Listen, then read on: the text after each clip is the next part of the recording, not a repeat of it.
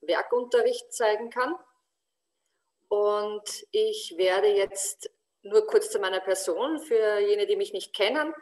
Äh, ich arbeite in der Volksschule Eixinger Gasse, Institut Neulandschulen, äh, als textile Werklehrerin und habe es mir sozusagen als Aufgabe gemacht, den Werkunterricht zu entstauben und in den modernen Technologien anzupassen. Und da möchte ich eben heute einen kleinen Einblick bieten. Ich werde jetzt mal versuchen, den Bildschirm freizugeben. So. Und okay, gut. Ich hoffe, jetzt sieht man es. Ja, funktioniert wunderbar. Ah, sehr gut, sehr gut. Okay. Äh, also wie schon der Titel sagt, also technologiegestütztes Lernen im innovativen Klassenzimmer. Den Titel habe ich deswegen gewählt, weil eben die Stickmaschine zum Einsatz kommt. Die steht so im Zentrum. Ich verwende aber auch Plotter und manchmal auch den 3D-Drucker.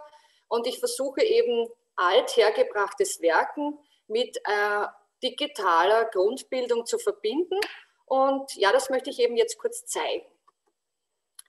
Und zwar hier sieht man mal also die Stickmaschinen, die wir verwenden.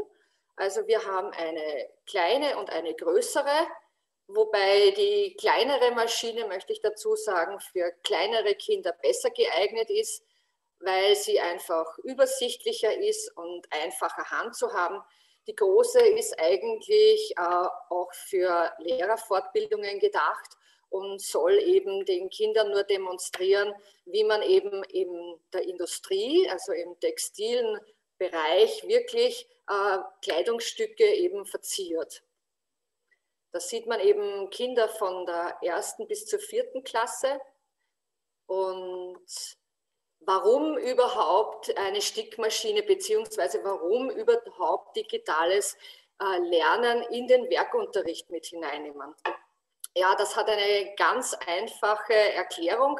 Ich finde, dass nämlich der Werkunterricht ein optimales äh, Bewegungsfeld ist, um ganz, ganz viele Sachen unterzubringen. Also da geht das kompetenzorientierte Lernen hinein mu man muss Mathematik beherrschen, man muss Lesen beherrschen, man muss, können, man muss schreiben können.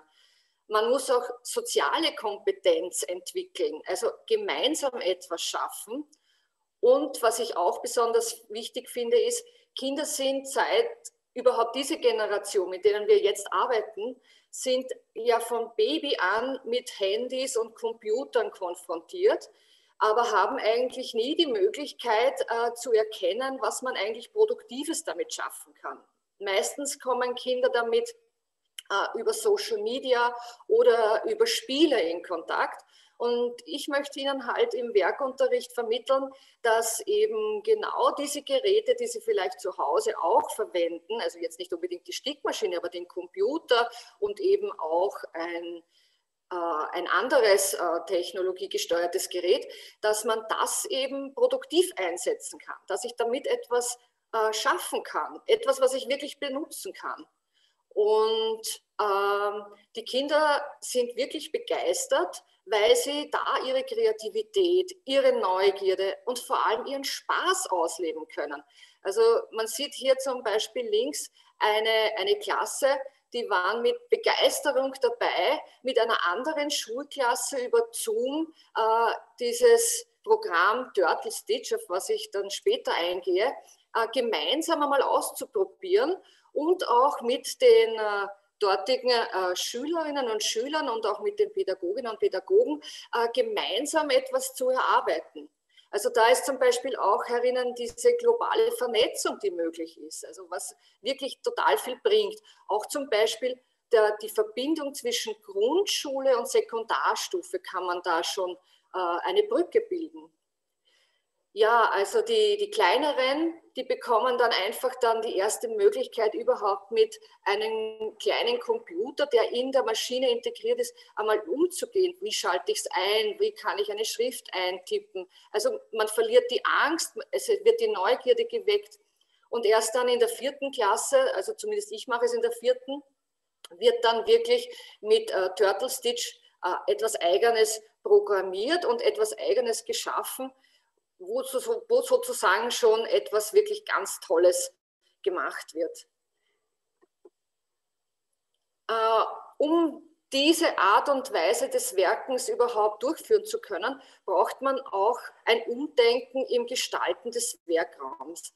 Also der, der Werkraum soll nicht nur jetzt fürs Handarbeiten da sein, so wie das früher war, sondern er muss einfach ein Platz werden, den man ständig neu flexibel gestalten kann. Also die Kinder müssen Platz haben, um etwas äh, zum Beispiel wie hier zu färben, zu marmorieren oder um auch äh, textiles und technisches Werken zu verbinden. Also man kann hier auch aus Holz ein, wie hier ein Auto schaffen und dann mit einer Solarzelle verbinden. Man kann sich selbst eine Strickmaschine bauen und dann ein Pullover stricken oder man geht direkt zur Nähmaschine über. Also ideal wäre es, viel Raum zu haben.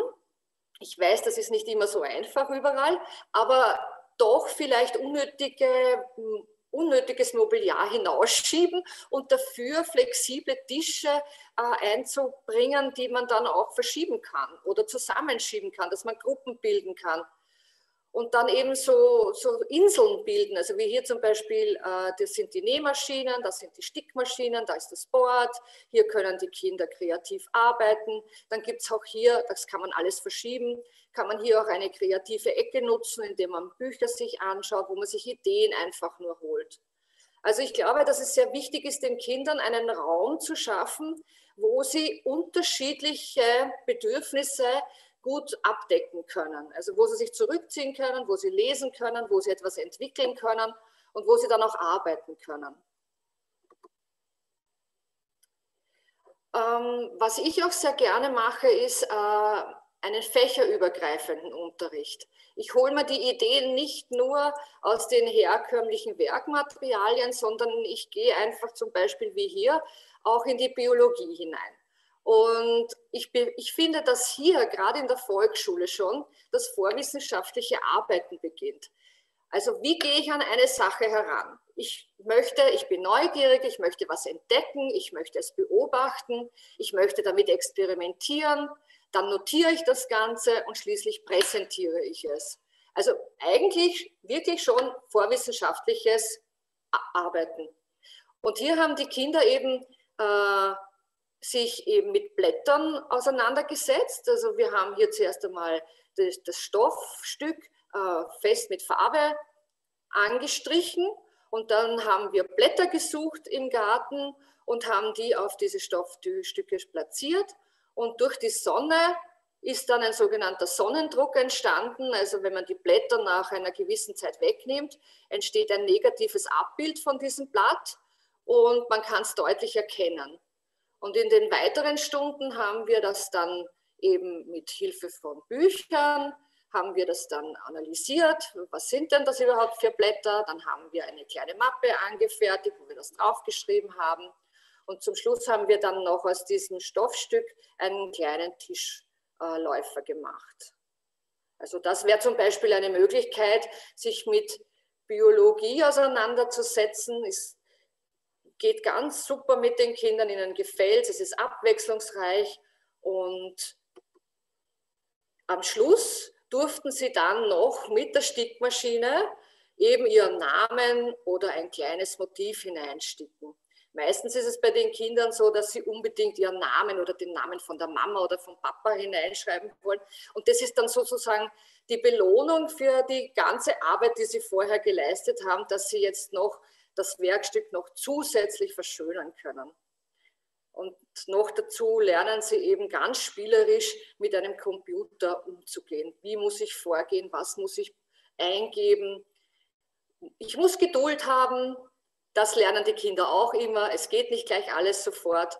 Und das Ergebnis, das belohnt sie dann schon. Ähm, hier haben die Kinder zum Beispiel äh, häkeln gelernt. Da haben wir zuerst Luftmaschenketten gemacht, dann haben wir eine lange Kette daraus gehäkelt und dann haben sie das eben auch auf ein Stoffstück genäht und zum Schluss eben wieder mit äh, einem Namen verziert. Das sind übrigens beides zweite Klassen gewesen. Ich habe das aber auch schon, das wird man dann später sehen, auch schon mit einer ersten Mal gemacht. Hier kommt es eben darauf an, dass die Kinder die ersten Berührungen eben mit der Stickmaschine erleben dürfen. Und vorher, bevor man das mit, dem, mit der Stickmaschine äh, ihnen zeigt und macht, ist es natürlich auch wichtig, ihnen einmal einen Einblick zu geben, was ist überhaupt Sticken. Also das darf man nicht vergessen. Für mich ist schon auch immer wichtig das herkömmliche Werken. Also dieses althergebrachte, wirklich mit der Nadel und mit dem Faden sticken. Nämlich, warum muss ich das wissen? Weil später, wenn ich dann programmieren möchte mit der Maschine, muss ich ja wissen, wie schaut welcher Stich aus und wo kann ich den einsetzen.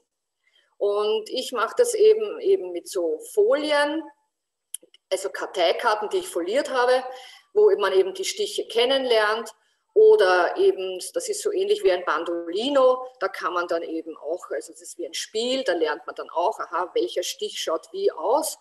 Und dann kann man das eben je nach äh, Altersstufe der Kinder dann umsetzen in ein kleines Werkstück. Also wie man hier sieht, kann das das Thema Ostern sein oder vielleicht Weihnachten oder macht ein Lavendelsäckchen.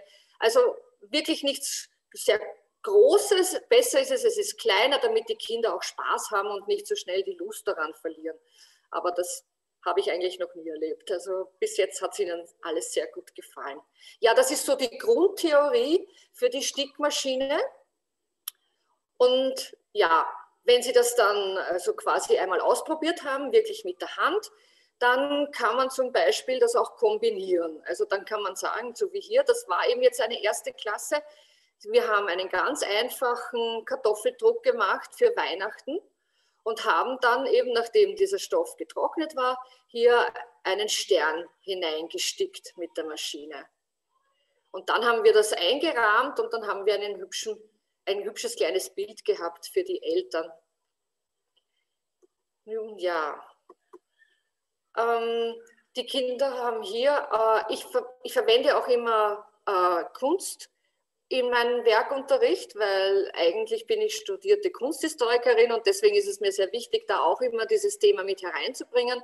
Und da haben wir eben uns das Igel genauer angesehen und die Kinder haben eben wiederum zuerst äh, also ein, ein Stickmotiv programmiert, ein einfaches, und dann haben sie mit Moosgummi das verziert und dann haben wir eine kleine Tasche draus genäht.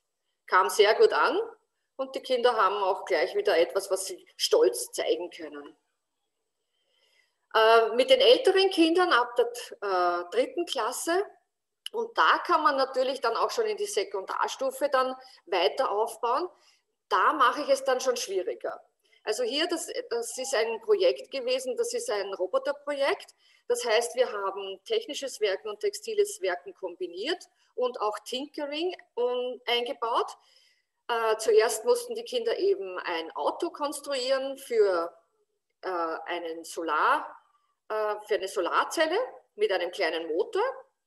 Und nachdem das fertiggestellt war, das Auto, haben sie dann einen Aufsatz konstruiert mit Holz und mit Styropor und das Ganze wurde dann noch, ähm, also jetzt kommt das, das Textile hinein, haben sie dann einen Pullover gestrickt mit einer kleinen Strickmaschine, die sie vorher auch aus Holz gebaut haben.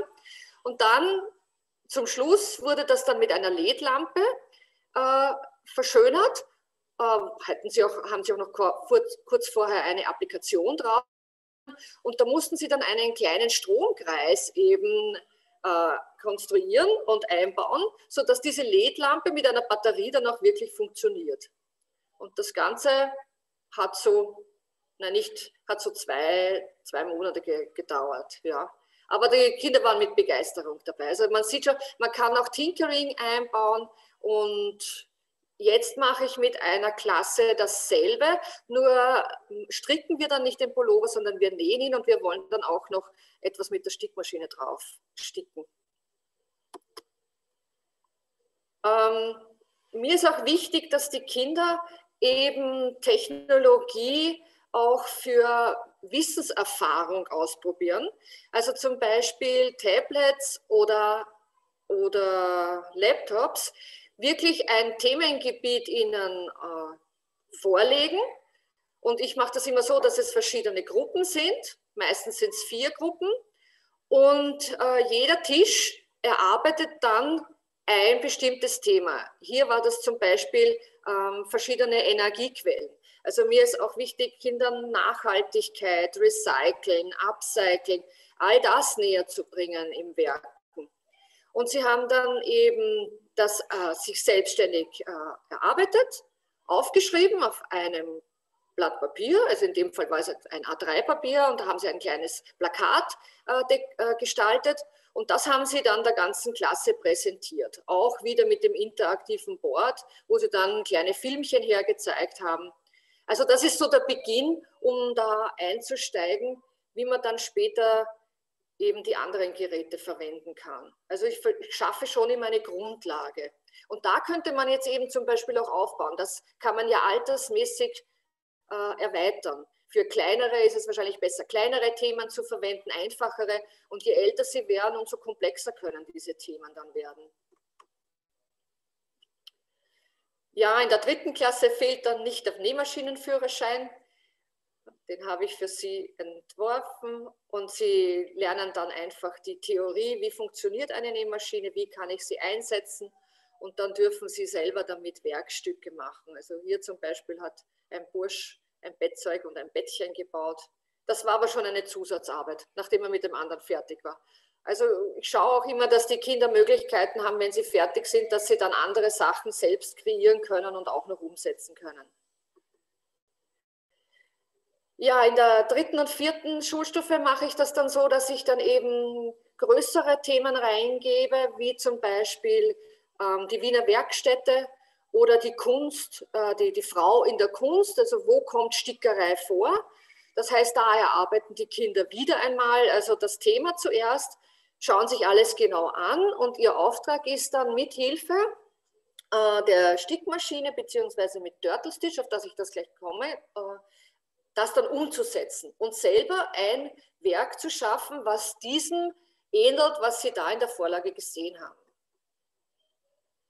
Also hier zum Beispiel war eben, wie gesagt, die Wiener Werkstätte und da haben die Kinder eben zuerst einen äh, mit äh, Linolschnitt einen Druck gemacht und dann haben sie mit Turtle Stitch eine, ein Motiv äh, konstruiert, also programmiert und das wurde dann zusätzlich auf den Stoff gestickt und dann haben sie eine Nackenrolle daraus gemacht. Genau, hier sieht man das dann zum Beispiel. Es gibt natürlich auch fertige Motive in der Maschine, nur davon rate ich ab. Erstens einmal ist das nicht so zielführend. Die Kinder sollen ja lernen, selber etwas zu entwerfen. Aber natürlich, manchmal möchte man es ausprobieren. Nur wie hier zum Beispiel dieses Motiv, das ist auch für eine Schulstunde nicht geeignet. Das dauert bis zu eineinhalb Stunden. Also das zu sticken ist schon sehr aufwendig und für eine Klassenstärke gar nicht geeignet. Besser ist dann, man appliziert vielleicht, man kann hier auch applizieren mit der Maschine, das ist ganz praktisch. Aber was mir sehr am Herzen liegt, was mir gut gefällt, ist, wenn die Kinder eben alles selber machen, wie zum Beispiel hier. Wirklich den Stoff selber gestalten mit Marmorierung und dann eben mit, Masch mit dem Turtle Stitch. Ach so, nein, das sieht man jetzt noch nicht kommt ein bisschen später. Hier haben sie noch eben ihre Namen drauf gestickt auf den Stoff und dann haben wir so ein kleines Täschchen beziehungsweise einen Polster gestickt, je nachdem, für wen das sein soll, für sich selbst oder für die Mama und den Papa. Also man hat da verschiedene Möglichkeiten. Das lasse ich aber auch meistens den Kindern offen, was sie da machen möchten. Es gibt immer verschiedene Möglichkeiten.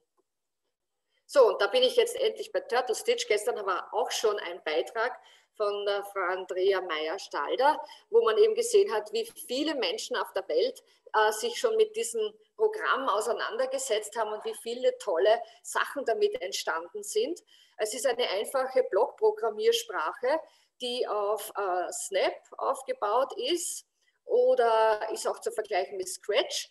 Und die Kinder sind oft schon mit diesen äh, Programmiersprachen vertraut und daher ist das für sie eigentlich nur mehr eine Spielerei. Also Erwachsene tun sich da weiter schwerer als wie die Kinder, weil sie eben damit aufwachsen.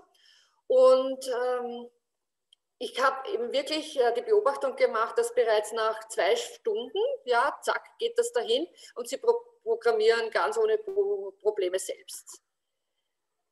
Also wie beginne ich? Also zuerst zeige ich einmal, da gehe ich jetzt nicht ganz genau ein, ich zeige nur ganz grob, wie das ist. Man hat hier verschiedene, ähm, ich sage immer Schubladen dazu, damit das die Kinder leichter verstehen. Und je nachdem, wo ich drauf drücke, Steuerung, Bewegung, Fühlen, Operatoren, Stift, Stickerei, kann ich eben verschiedene Bauteile auf, eine, äh, auf einen Bildschirm rüberziehen und dann kann ich eine kleine Schildkröte bewegen. Die zeigt mir die Stiche an. Also darum Turtle Stitch. Und dann zeige ich ganz etwas Einfaches vor, also wie Sie das anordnen müssen. Und dann zum Beispiel wie hier, welche Stichart Sie äh, verwenden können. Also hier hat man einen Stern mit einem Laufstich, mit einem einfachen. Das, dieselbe Programmierung mit einem Kreuzstich sieht dann aus wie eine Schneeflocke. Und so etwas ganz Einfaches zeige ich Ihnen einmal vor und erkläre Ihnen eben dazu, wie Sie was genau machen müssen. Es kann ja nichts passieren. Also ich sage auch immer, ja, wenn da etwas falsch ist, dann schiebst du es einfach wieder zurück. Du kannst das auch wieder löschen. Du kannst da wirklich ganz frei damit arbeiten. Und wenn das dann eben, wenn Sie das verstanden haben, und wenn sie dann miteinander, und da kommt eben diese soziale Kompetenz wieder mit herein, wenn sie dann miteinander eben das aufbauen und eben konstruieren, dann sieht man dann schon solche schönen Arbeiten. Und die werden dann äh, in eine DSD-Datei umgewandelt und dann können wir es auf einen USB-Stick speichern und diesen USB-Stick kann ich dann an die Stickmaschine anstecken und dieses Motiv, was hier eben äh, konstruiert wurde, kann ich dann direkt mit der Stickmaschine auf das Werkstück der Kinder aufsticken lassen. Also hier sind noch ein paar Beispiele. Das ist alles eine vierte Klasse. Man kann mit Turtle Stitch auch verschiedene Farben eingeben, sodass die Maschine genau weiß, welche, wann sie stoppen muss, wann der Faden gewechselt werden muss, damit man eben dieses schöne Motiv auch in diesen Farben dann sieht. Und wie gesagt, wenn man das dann hat, dann steckt man das hier auf der Seite bei dem Minicomputer der Stickmaschine an und man kann sie dann sticken, die Sachen. Die Kinder sind äh, fasziniert von der Bewegung, von dem Vorgang. Sie können nie genug auch zuschauen. Also es ist schon eine sehr spannende Sache vor allem zu sehen, wie ein Werk, was man am Computer kreiert hat, dann plötzlich wirklich greifbar wird auf einem äh, Stoffstück. Ja, also hier sieht man nochmal die Freude. Wir haben diesen Winter, haben, hat die eine Klasse eben einen Adventkalender für die Klasse machen wollen und jede, jeder Schüler, jede Schülerin haben einen Stern konstruiert und der wurde dann eben auf so äh, Stoff drauf gestickt, dann wurde das zu einer Tasche genäht und schließlich war dann der Adventkalender fertig. Und sie haben sich darüber sehr gefreut und auch die Frau Lehrerin. Ja, dann gibt es noch andere Möglichkeiten, zum Beispiel auch für ältere Kinder. Man kann zum Beispiel sagen, okay, aus, der, aus den Kunstwerken nehme ich äh, Motive wie hier abstrakte Kunst eignet sich besonders gut dafür.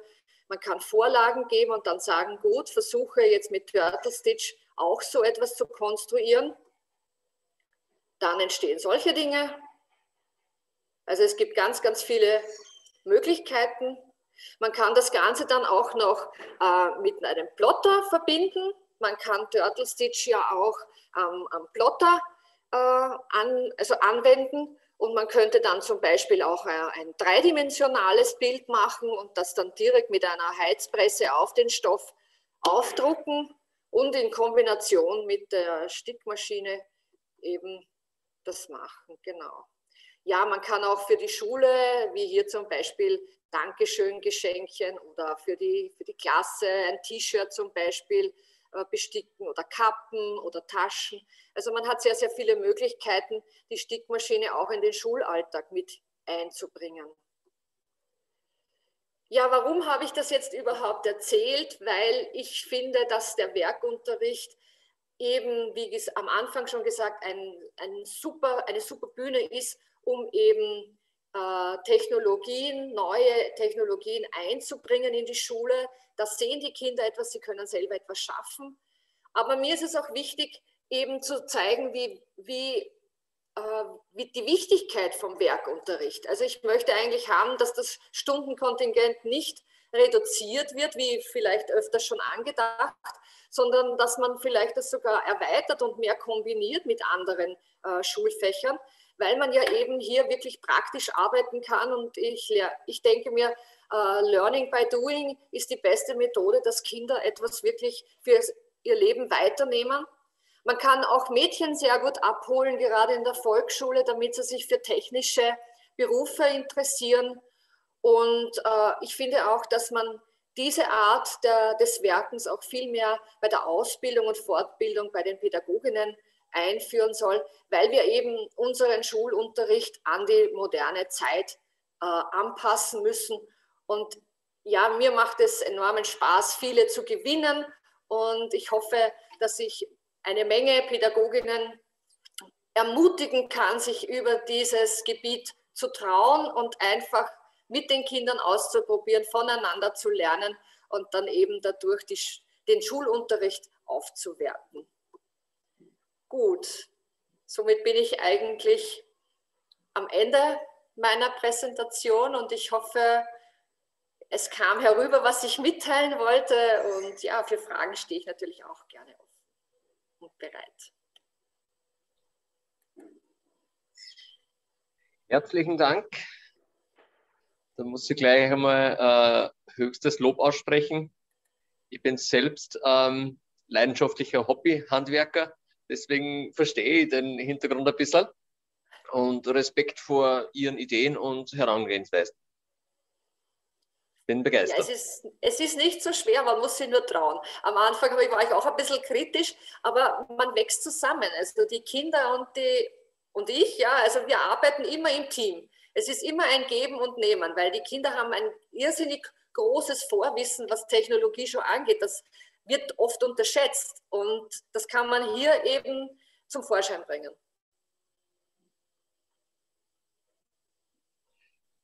Darf ich die Astrid und den äh, Gregor fragen? Die Astrid, ähm, ich versuche kurz die Stummschaltung aufzuheben. Ihr könnt, ihr könnt die, das Mikrofon einschalten, müsste funktionieren und eure Fragen stellen. Braucht es nicht im Chat das Ganze abzuwickeln. Ah, ich habe gesehen, dass welche Maschinen werden verwendet und wie viel kosten sie, wenn das richtig ist.